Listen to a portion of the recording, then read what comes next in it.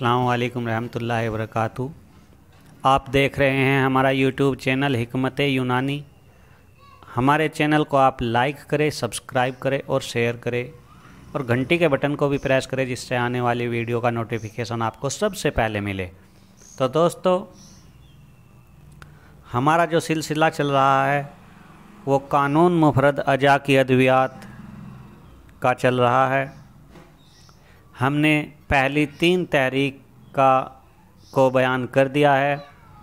पहली तीन तहरीक, आसाबी उजलाती उजलाती आसाबी और उजलाती गुदी, इनकी सभी जो अद्वियात हैं, ये हमने बयान कर दी है। और आज जो हमारा सिलसिला है गुदी उजलाती तहरीक का, है, जिसमें हम मुहर्रक चार और शदीद चार। गुदी उजलाती मुहर्रक और गुदी उजलाती सदीद। इनको बयान करेंगे। तो गुदी उजलाती जो अद्वियात हैं, इनका जो बुनियादी काम है, वो जिस्म के अंदर सफरा को बढ़ाना होता है, गुदूद जाजबा को तहरीक देना होता है, जिस्म के अंदर हरारत गरीजा को पैदा करना होता है जिगर को तहरीक देना होता है। जिस्म जिस्म में फाजिल जो रतुबात हैं, उनको खारिज करने का इनका बुनियादी काम है।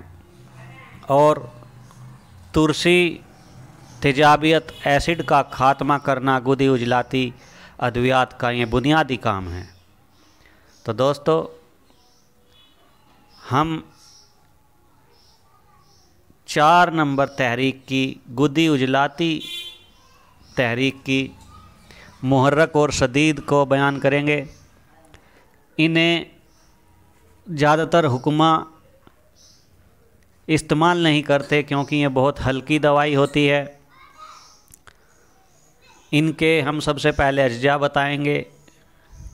इनको बनाने का तरीका और इस्तेमाल करने का तरीका बताएँगे। गुद्दी उजलाती मुहर्रक में, अजवाइन देसी और तेज़पात। ये 40-40 ग्राम लेकर बारीक सफूफ बनाएँ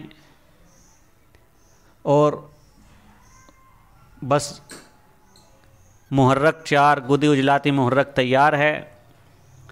इसकी मकदार खुराक एक एक ग्राम सुबह शाम ताज़ा पानी से दे सकते हैं या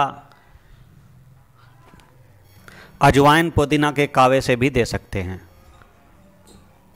इसी तरह से गुदी उजलाती सदीद, जिसे चार सदीद कहते हैं इसके अज्जा अजवाइन देसी तेज़पात और सुरख सुरखराई तीनों चालीस चालीस ग्राम लेकर, तीनों को बारीक सफूफ बनाकर रख लें।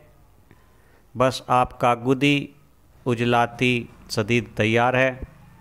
इसकी भी मकदार। एक एक ग्राम सुबह शाम दे सकते हैं। और सुबह दोपहर शाम भी आप इसको दे सकते हैं। ये ताज़ा पानी या अजवान पुदीना के कावे से भी इसको आप दे सकते हैं। इनका जो काम है, वो इनका बुनियादी काम जिस्म के अंदर सफरा को बढ़ाना होता है। गुदुद जाजबा को तहरीक देना होता है और जिस्म के अंदर हरारत पैदा करना होता है। और जो आसाबी रतुबात होती हैं, उनको खारिज करना होता है, तुरसी तेजाबियत का खारिज, ख़ात्मा करना होता है।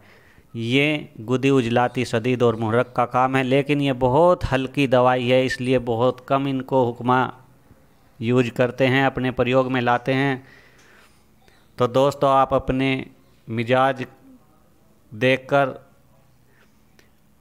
रोगी की अच्छी तरह से तशखीस करके आप इन दवाओं को इस्तेमाल कर सकते हैं। तो दोस्तों, कल हम गुदी उजलाती मुलैन को बयान करेंगे। इसी के साथ अब हम चलते हैं, चल मिलेंगे कल नेक्स्ट वीडियो में। तो जाने से पहले आपको मैं एक बात बता दूँ कि मैं ये जो हमारा यूट्यूब चैनल है, आप इसको सब्सक्राइब करें लाइक करें और शेयर करें, जिससे आने वाली वीडियो का नोटिफिकेशन आपको सबसे पहले मिले। तो दोस्तों, कानून मुफरद अजा को सीखने के लिए आप हमारे यूट्यूब चैनल को सब्सक्राइब ज़रूर करें और जो नए हुक्मा हैं बनना चाहते हैं, वे हमारे यूट्यूब चैनल को सब्सक्राइब करें और शुरू से ही वीडियो को देखना शुरू करें, जिसमें हमने कानून मुफरद अजा को सीखने, सिखाने का काम किया है, सिलसिला जारी किया है। उन, सीखे उनसे और तस्खीस सीखे और फिर ये वीडियो देखे तो आपके बहुत काम आएगी नई हुक्मा के लिए। बहुत ही बेहतरीन चैनल है। तो दोस्तों, आप इसको सब्सक्राइब करें और और दूसरे लोगों से भी कराएँ। इसी के साथ हम चलते हैं। असल रहमतुल्लाहि वबरकातुहू।